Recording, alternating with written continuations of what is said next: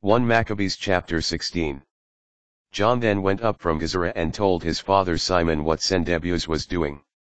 Simon called his two oldest sons, Judas and John, and said to them, I and my brothers and my father's house have fought the wars of Israel from our youth until today, and many times we succeeded in saving Israel.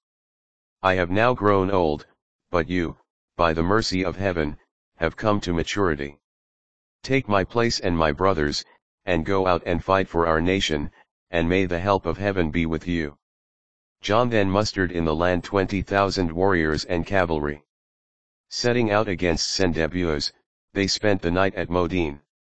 Rose early, and marched into the plain. There, facing them, was an immense army of foot soldiers and cavalry, and between the two armies was a wadi. John and his people took their position against the enemy. Seeing that his people were afraid to cross the wadi, John crossed first.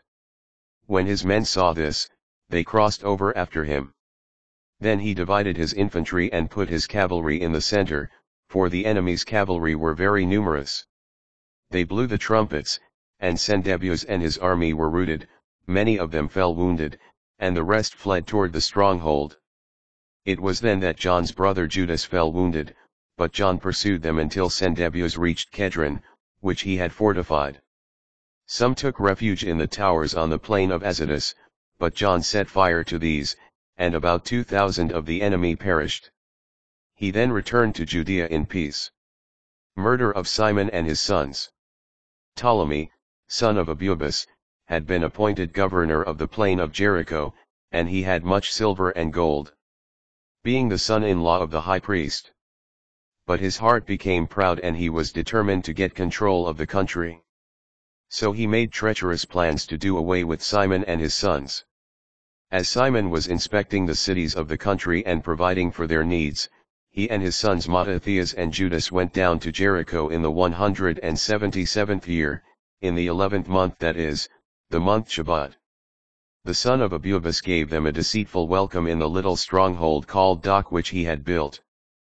He served them a sumptuous banquet, but he had his men hidden there.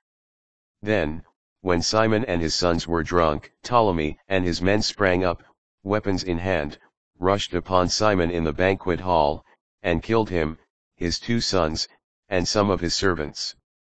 By this vicious act of treachery he repaid good with evil.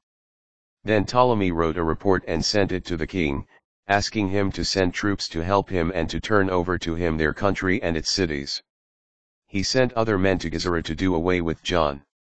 To the army officers he sent letters inviting them to come to him so that he might present them with silver, gold, and gifts.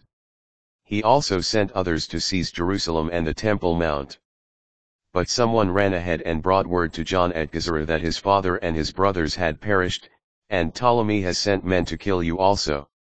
On hearing this, John was utterly astounded.